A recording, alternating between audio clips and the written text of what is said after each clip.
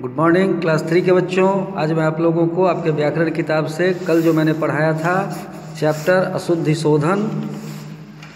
अशुद्धि शोधन जो आपके एक्सरसाइज थर्टीन में है, इसको मैं आज बताने जा रहा हूँ। इसमें कल मैंने आपको मौखिक बताया था, आज मैं आपको लिख कर बताता हूँ कि अशुद्धि शोधन क्या है। अशुद्धि शोधन में सबसे पहला प्रश्न आता है आपको कि कोष्टक में दिए गए शब्दों के सही रूप से रिक्त स्थानों की पूर्ति कीजिए, सही रूप से। अब देखिए यहाँ सारे शब्द गलत दिए हुए हैं। सारे शब्द गलत दिए हुए हैं, जैसे यह शब्द दिए हुआ है गलत, सूरज, तिथि,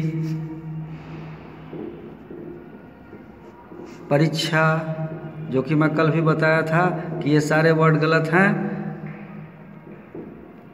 अब देखिए इसी के कारण सेंटेंस गलत हो जाता है। तो यह देखिए कि इसको सही कैसे करना है। तो यह शब्द है तिथि ये सारे शब्द गलत हैं। इसको सही करने के लिए अब क्या करेंगे?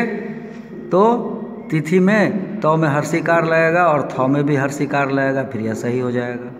उसी तरह से सूरज में सौ में दीर्घुकार, र और ज होगा। उसी तरह से परीक्षा में प, र दीर्घिकार और अक्ष में आकार। उसी तरह से बीमार में ब में दीर्घिकार म आकार और र अब ये हो गया आपका सही। तो इस तरह से आप अपने इस अशुद्धि अशुद्ध शब्द सबको शुद्ध कर लेंगे।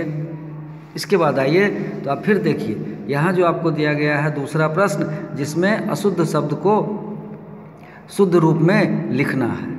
यहाँ सारे अशुद्ध शब्द लिखे हुए हैं। ये सारे आपके अशुद्ध शब्द हैं, ये जितने भी शब्द हैं, वे सारे आपके अशुद्ध शब्द हैं। अब इसके बाद यहाँ चार ऑप्शन में दिया गया है तो इसमें से सही ऑप्शन कौन सा है? तो आप देखिए तो इसमें से आपको सही ऑप्शन कौन सा है? ये आपका सही ऑप्शन है आशीर्वाद का। दूसरा, त्यौहार का सही ऑप्शन क्या है? तो आप देखिए तो त्यौहार का सही ऑप्शन ये है आपका। उसके बाद देखिए तो दवाई है तो दवाई का सही ऑप्शन क्या है? तो दवाई का सही ऑप्शन यहाँ ये है। उसी तरह से मछली है तो मछली का सही ऑप्शन क्या है? तो मछली का सही ऑप्शन ये है। उसके बाद फिर आप आ जाइए क्वेश्चन नंबर थ्री में। तो यहाँ भी आपको, यहाँ देखिए क्यों है? तो क्यों ऐसे तो नहीं लिखा जाता है, इसका सही रूप ये है। उसके बाद देखिए, औरत है। औरत को आप कैसे लिखेंगे? तो औरत होता है तो औ की मात्रा लिखेंगे आप उसके बाद सकूल है, औरत लिखेंगे। उसके बाद स्कूल होता है आप स्कूल लिखेंगे। उसके बाद देखिए तो आवाज़ है तो आ होता है, आ की मात्रा आ है, यहाँ अ दिए हुआ है। उसके बाद शांति है तो शांति में कैसे होगा? सौ आकार तलब आकार नौ तो संयुक्त और इसमें हर्षिकार लगेगा। तो नौ और तो संयुक्त हो जाता है तो हर्षिकार उसके पीछे से लगेगा। या नहीं तो आप इसको ऐसे भी लिख सकते हैं, सा, नौ में हलंत लगाइए और तो में हर्षिकार लिखिए। फिर उसके बाद आता है स्वास्थ्य तो स्वास्थ्य सौ व संयुक्त आकार, आधा सौ आधा थ और य। ये हो जाता है स्वास्थ्य अब देखिए यहाँ, इसको मैंने यहाँ लिख दिया। यह तीसरा प्रश्न का आंसर था। दूसरा प्रश्न में मैंने आपको बताया था अब उसके बाद आता है वाक्य को शुद्ध करना। अब देखिए यहाँ कक्षा तो कक्षा क्या है? स्त्रीलिंग का शब्द है। तो उसका कक्षा बहुत अच्छा है।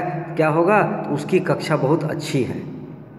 उसके बाद देखिए तो मैंने घूमने जाना है तो मैंने घूमने जाना है, यह वाक्य गलत है तो मुझे घूमने जाना है। उसके बाद आकाश पर बादल छा रहे हैं तो आकाश पर बादल छा रहे हैं नहीं होगा, यहाँ पर पर गलत है, आकाश में बादल छा रहे हैं। उसके बाद बच्चों को उबालकर दूध पिलाओ। अब देखिए यहाँ बच्चों को उबालकर दूध पिलाओ कि दूध को उबालकर बच्चे को पिलाओ, ऐसा होगा। तो बच्चों को उबालकर तो नहीं, दूध को उबालकर बच्चों को पिलाओ। इस तरह से आप इस सारे प्रश्नोत्तर को देखेंगे और फिर आप इसको बनाएँगे। इस तरह से यह चैप्टर आपका ख़त्म होता है। और फिर मैं दूसरे दिन आपको